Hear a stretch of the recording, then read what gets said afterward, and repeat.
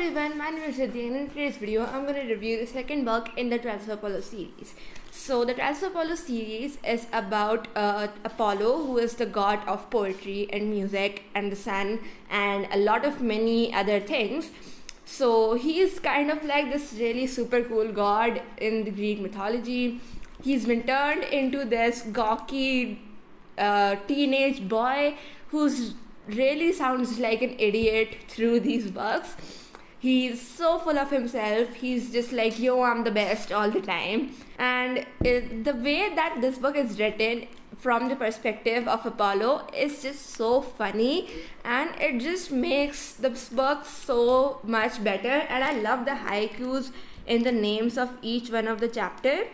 For example, to the way station, Meg McCaffrey eats my bread. I cry godly tears. That is a really nice haiku. Uh, that and another one that I really liked was prophecies don't mix with tofurkey and biscuits. Just give me dessert. So uh, yeah, I love all of the haikus in these books and uh, it kind of makes sense because Apollo is the god of poetry, so he's obviously going to be really good at writing haikus. Uh, and the main plot of the Trials of Apollo series is that Apollo has to fight all of the evil rulers uh, that used to rule Rome and Greeks, Greece back in the ancient days. And uh, the first one of them in, that I talked about in the first video was Nero. And the second book has Commodus in it. And Commodus was the most bloodthirstiest, the worst emperor, the pretty much the worst emperor to ever be in Rome. He was first this uh, nice person, and he actually had uh, Apollo as a friend. But once he became a king, he got swallowed by his uh, new possession. So he became this really evil kind of person, and he was assassinated uh, in the end. And the assassination was done by Apollo himself. Uh, he came in the form of a normal person a normal human. Uh, when bad things start to happen in the world, gods take the form of normal humans and come to destroy those problems.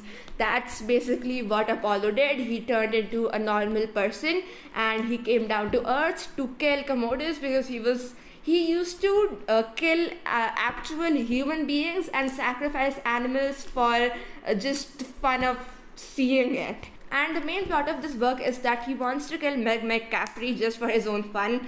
And he also likes to name all of the people that he likes to kill because, well, he just likes to do that. Lot, there are a lot of people, there's demigods and other people like that who uh, he has kept as prisoners so that he could kill them on the day of the naming ceremony. So uh, the naming ceremony is when he names all of the people that he's gonna kill and then he kills them. So what basically happens in this book is that they find this place called the way station, which is basically built over a place that used to be a railway station uh, many years ago. So now it has been turned into a place where weddings happen, and uh, the but the way, spa- way station is a place that is hidden deep inside the place, deep inside the way station.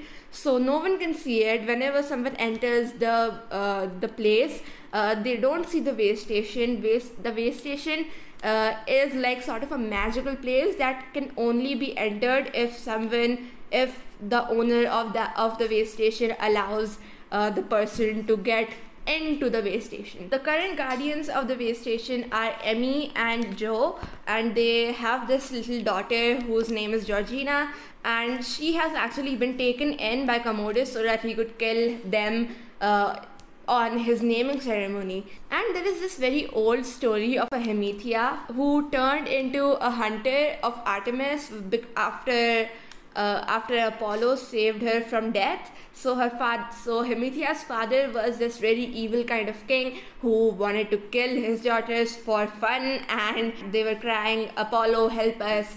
And then Apollo came there and he helped them and turned them into uh, minor gods, but they actually decided that they wanted to become hunters of, hunters of Artemis, and Apollo thought that they were very ungrateful to him. Uh, he turned them into a little god, and and they agreed to give up all of their god powers. uh, in exchange for being a hunter. And that is the reason why Apollo was really upset from them. And uh, basically, uh, they've turned into normal humans now. They left the uh, hunters' camp and they now are normal people. That is the reason why they've aged and that is why they are much older now. Don't watch this part of the video if you don't want any spoilers. But in the end of this book, uh, Commodus actually ends up getting killed, and uh, yeah, that is a good ending. I think that Commodus would probably come back because all of the kings in the evil triumvirate are actually gods. So the kings who uh, ruled, who used to rule Rome, uh, have actually become very minor sort of gods. So they could not die, die, but they can sort of die. Uh, so Apollo was able to turn into his godly form in the end of this book. Uh, I don't know how that was able to happen. I mean, he was supposed to be a 16 year old teenager, but he was apparently able to turn into uh, his godly form. If a god shows that entire godly form in front of human, the, the human's eyes cannot process that entire information of the structure of an entire god so they basically die and their eyes go blind. And that is the reason why uh, commodus dies because he's in the form of a normal human when he looks at uh, apollo. So that is the reason why he died and that was a pretty nice ending to this book. And i'm really really looking forward to reading the next book. This book had a sort of a, kind of sneak peek to the next book so it had left uh, it left on a very huge cliffhanger that I'm really looking forward to reading it. So yeah, thanks for watching guys. If you like this video, don't forget to click on like button and subscribe to my channel. Bye!